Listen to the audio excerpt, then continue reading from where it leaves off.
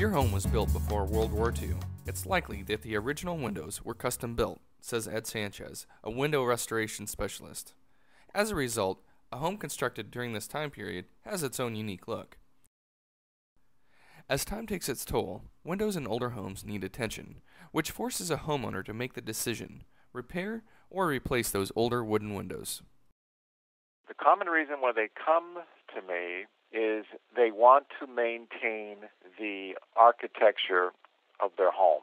And they're afraid that if they change them out, it'll change the look of their home.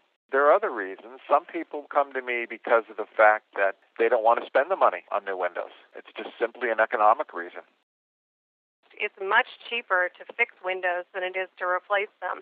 We just did a house that has probably 1950s, 1960s era Andersen windows that are in tough shape, but they're not falling apart. They're okay.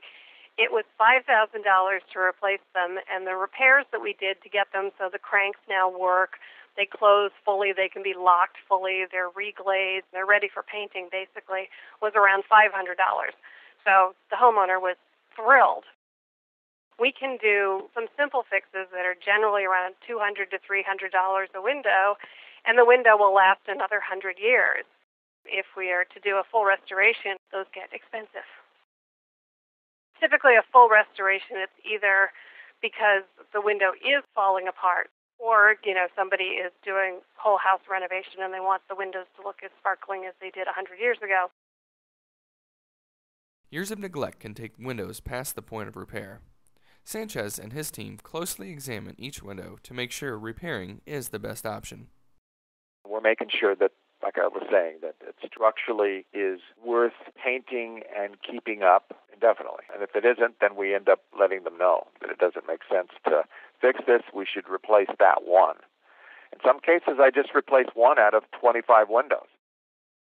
Regardless of the condition of your wooden windows, both Hardy and Sanchez agree that repair or restoration is well worth considering. People think it's only for historic houses and that it must be so much more expensive than getting replacement windows. And time and again, we have heard that we are so much cheaper than replacement windows. And we work on very modest houses because people just want everything that's in the house to stay in the house and don't want to just keep throwing things into dumpsters. The quality of the wood for the older ones is worth restoring. The newer ones, it's like they're made out of cardboard. So, I mean, we could repair them, but why bother? There's plenty of people who don't have a clue that their windows are good. They just figure if there's paint chipping, it's garbage. But in time, let me tell you, it's not garbage. It's really a crying shame. People don't know once it's gone.